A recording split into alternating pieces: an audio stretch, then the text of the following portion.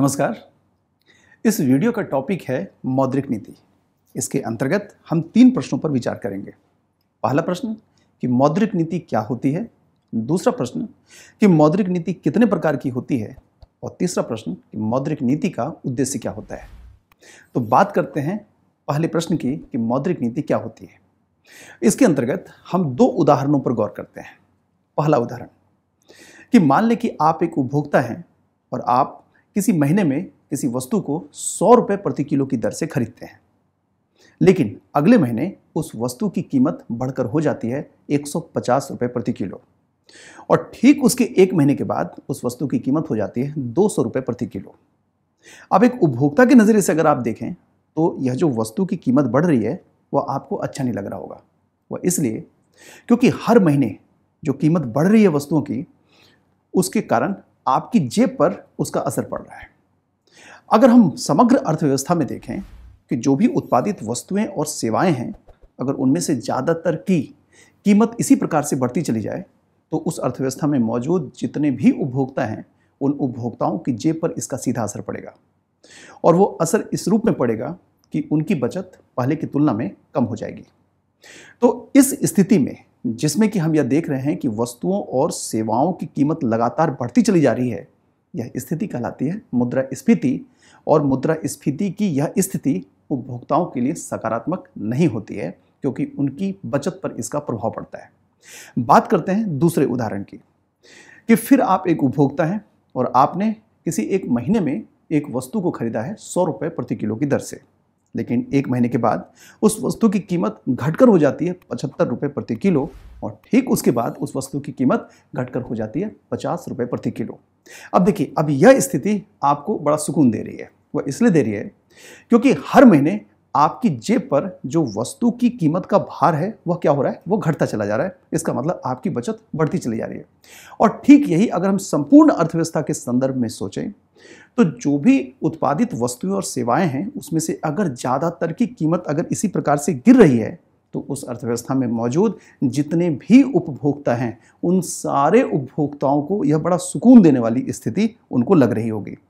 लेकिन यह जो वस्तुओं और सेवाओं के मूल्य में गिरावट हो रही है, यह उत्पादक के नज़रिए से अगर हम देखें तो उनके लिए यह सही नहीं है। वह इसलिए क्योंकि अगर इस प्रकार से वस्तुओं और सेवाओं के मूल्य में गिरावट होती रही तो उनके लाभ में कमी आएगी और एक ऐसा भी समय आएगा, जबकि वो नुकसान में चले जाएँगे। तो उनका नुकसान में जाना यह अर्थव्यवस्था के लिए सही नहीं होगा। तो एक ऐसी स्थिति जिसमें वस्तुओं और सेवाओं के मूल्य में लगातार गिरावट होती चली जा रही है तो ऐसी स्थिति को हम कहते हैं अपस्फीति। मतलब यह कि मुद्रा स्फीति की दर में नकारात्मक गिरावट व स्थिति कहलाती अपस्फीति। तो पहली स्थिति कौन सी थी? पहली स्थिति थी मुद्रा स्फीति की, जिसमें किसको नुकसान हो रहा था? नुकसान हो रहा था उपभोक्ता को। दूसरी स्थिति है कौन सी? अपस्फीति। इसमें किसको नुकसान हो रहा है? इसमें नुकसान हो रहा है उत्पादक को। तो होना क्या चाहिए? होना यह चाहिए कि दोनों स्थितियों के बीच में एक बेहतर संतुलन को स्थापित करना चाहिए। मतलब ये कि वस्तुओं और सेवाओं के मूल्य में वृद्धि और वस्तुओं और सेवाओं के मूल्य में गिरावट वह एक सीमा के भीतर होनी चाहिए। तो यह कार्य करेगा कौन? तो यह कार्य प्रत्येक देश में मौजूद जो केंद्रीय बैंक होता है, वह यह कार्य करता है। केंद्रीय बैंक क्या होता है? तो किसी भी वित्तीय प्रणाली में मौजूद जो बैंक होते हैं, उन बैंकों की निगरानी, निरीक्षण और विनियमन का कार्य केंद्रीय बैंक के द्वारा किया जाता है। और अगर भारत के संदर्भ में हम बात करें तो भारत का जो केंद्रीय बैंक है, वह कौन है? वह है आरबीआई। और आरबीआई इन दोनों के बीच मतलब कि जो वस्तुओं और सेवाओं के मूल्य में वृद्धि हो रही है और वस्तुओं और सेवाओं के मूल्य में जो गिरावट हो रही है, वह किस सीमा तक होनी चाहिए तो उसका निर्धारण किया है दो से छः प्रतिशत के बीच में। इसका मतलब है कि वस्तुओं और सेवाओं के मूल्य में वृद्धि की दर होनी चाहिए कितने के बीच में? दो से छः प्रतिशत के बीच में। तो अब देखिए क्या है कि वस्तुओं और सेवाओं के मूल्य में वृद्धि या वस्तुओं और सेवाओं के मूल्य में गिरावट, इन दोनों के बीच में बेहतर संतुलन को स्थापित करने के लिए केंद्रीय बैंक के द्वारा जो नीति बनाई जाती है, वह नीति क्या कहलाती है? वह कहलाती है मौद्रिक नीति। थोड़ा और अगर हम इसे तकनीकी रूप में देखें तो जो मौद्रिक नीति होता है, वह मौद्रिक नीति क्या होती है? वह होती है मुद्रा के प्रवाह का प्रबंधन। और इस मुद्रा के प्रवाह के प्रबंधन के अंतर्गत क्या किया जाता है? इसके अंतर्गत किया जाता है मुद्रा की मात्रा और मुद्रा की लागत। इन दोनों को नियंत्रित किया जाता है। तो जब हम एक एक कर देखते हैं कि मुद्रा की मात्रा को कैसे नियंत्रित करते हैं और क्यों करते हैं और मुद्रा की लागत को कैसे नियंत्रित किया जाता है और क्यों किया जाता है। सबसे पहले हम किसकी बात कर रहे हैं? हम बात करें मुद्रा की मात्रा की। अब जैसा कि हमें पता है कि जो बैंक है, वह क्या होता है? वह होता है वित्तीय मध्यस्थ। वह किस रूप में? वह इस रूप में कि अर्थव्यवस्था में जो भी बचत हो रही है, उस बचत का एक हिस्सा बैंक में जमा होता है। और फिर बैंक इस जमा को क्या करती है? अपने उन ग्राहकों को देती है, जिन्हें ऋण की आवश्यकता होती है। तो सवाल यहाँ पर यह उठता है कि बैंक में जितनी भी राशि जमा होती है क्या बैंक उन समस्त राशियों को ग्राहकों को ऋण के रूप में देता है। जी नहीं, ऐसा नहीं होता है। वह इसलिए नहीं होता है क्योंकि आरबीआई एक्ट 1934 के अंतर्गत आरबीआई बैंकों को यह निर्देश देती है कि बैंक में जो भी राशि जमा है, उसका एक निश्चित प्रतिशत बैंक या तो आरबीआई के पास जमा करे या अपने पास रखे।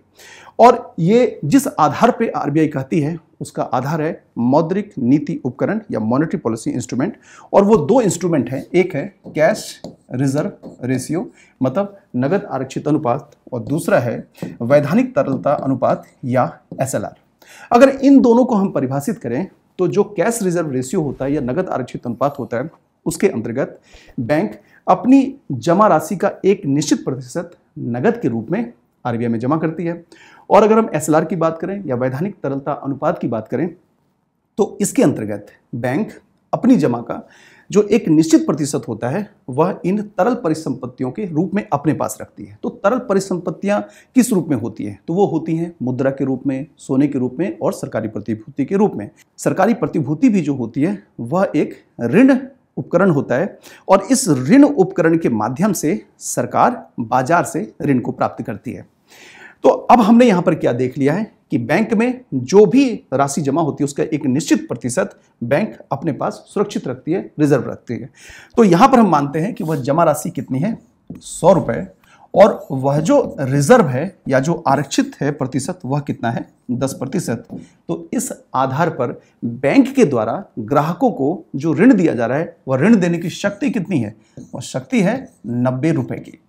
अब हम बात करते हैं उस स्थिति की मतलब जब मुद्रा स्फीति की स्थिति क्या हो रही है, वह अत्यंत उच्च हो रही है।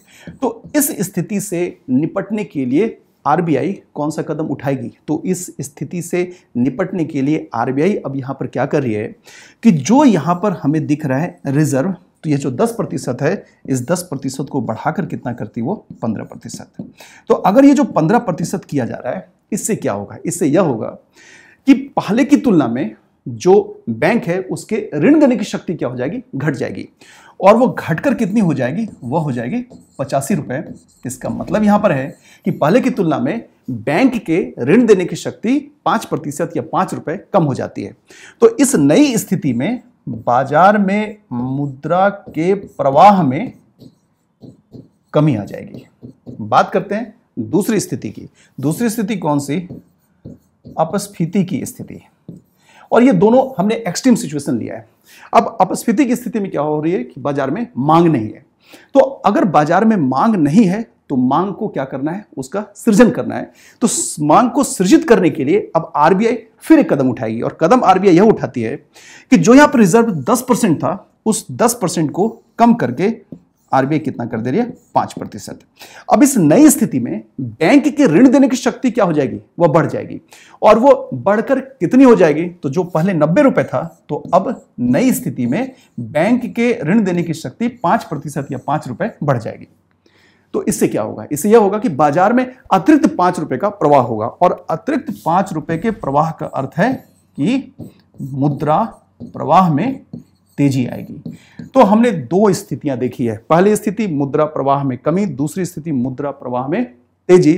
तो यह जो पहली स्थिति है, इससे जो मुद्रा है, उसकी मात्रा में कमी आएगी और यह जो दूसरी स्थिति है, इससे बाज़ार में जो मुद्रा है, उसकी मात्रा में वृद्धि होगी। तो एक ऐसी मौद्रिक नीति जिससे बाज़ार में मुद्रा की मात्रा में कमी आए तो इस मौद्रिक नीति को हम कहते हैं संकुचनकारी मौद्रिक नीति।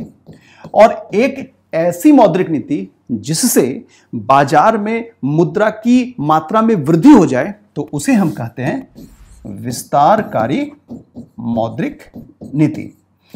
तो यहाँ पर हमने मौद्रिक नीति के दो प्रकारों को देखा है। एक संकुचनकारी मौद्रिक नीति और दूसरी विस्तारकारी मौद्रिक नीति, लेकिन किसके आधार पर? मात्रा के आधार पर। तो अब हम देखते हैं दूसरे आधार को, और दूसरा आधार क्या है? वह है हमारी लागत। आपको बता दें कि वित्त के अंतर्गत लागत क्या होता है तो इसे उदाहरण के रूप में हम समझते हैं कि जैसे मान लें कि मैंने किसी से सौ रुपए ऋण लिया है, और इस सौ रुपए के ऋण पर जिससे मैंने ऋण लिया है, उसने दस प्रतिशत का ब्याज तय किया है।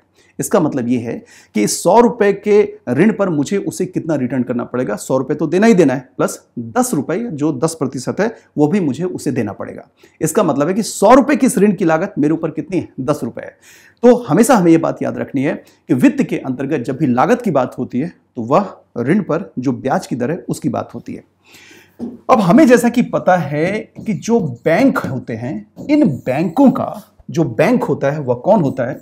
वो होता है आरबीआई। इसका मतलब है कि बैंकों की ऋण आवश्यकताओं की पूर्ति कौन करता है? आरबीआई करता है। तो मान लें कि इस बैंक को आरबीआई से सौ रुपए की ज़रूरत है ऋण के रूप में। अब हमें यह भी बात याद रखनी है कि जब बैंक आरबीआई से ऋण लेता है तो आरबीआई ऋण उसे ज़रूर देता है। लेकिन इस तरह के प्रत्येक ऋण पर आरबीआई ब्याज दर आरोपित करता है और यह जो ब्याज दर है, उसे तकनीकी भाषा में हम क्या कहते हैं? उसे हम कहते हैं रेपो या रीपर्चेज ऑप्शन रेट। तो मान लेते हैं कि यहाँ पर रेपो कितना है? दस प्रतिशत है। तो बैंक ने सौ रुपए लिया। किससे? आरबीआई से। किस दर पर? दस प्रतिशत पर। अब यह सौ रुपए बैंक अपने ग्राहक को देगा ऋण के रूप में। तो अब ये जो सौ रुपए बैंक ग्राहक को ऋण के रूप में दे रहा है, उस पर ब्याज की दर क्या होगी? तो दस प्रतिशत से ज़्यादा तो होगी होगी। और यहाँ पर हम उदाहरण के रूप में लेते हैं, पंद्रह प्रतिशत। फिर उन दो स्थितियों को सामने रखते हैं। पहली स्थिति पहली स्थिति कौन सी है कि जब मुद्रा स्फीति की स्थिति अत्यंत उच्च हो तो ऐसी स्थिति में अब आरबीआई कौन सा कदम उठाएगी? तो आरबीआई अब यहाँ पर क्या करेगी कि बैंक को अब जो ऋण सौ रुपए का देगी, उसमें जो यह दस प्रतिशत है यह जो दस प्रतिशत रेपो की दर है, उसे वह बढ़ा देगी और बढ़ाकर कितना कर दिया? उदाहरण के रूप में पंद्रह प्रतिशत। तो अब सोचना यहाँ पर यह है कि बैंक जो अब इस नए सौ रुपए को प्राप्त कर रहा है, वो किस दर पर? पंद्रह प्रतिशत पर। तो इसी सौ रुपए को बैंक जब अपने ग्राहक को देगा तो उस पर जो अब ब्याज दर तय करेगा, वह कितना करेगा? तो यहाँ हम एग्ज़ाम्पल ले रहे हैं कितना पर? बीस प्रतिशत पर। देखिए, दोनों स्तरों पर ऋण की मांग कम हो जाएगी।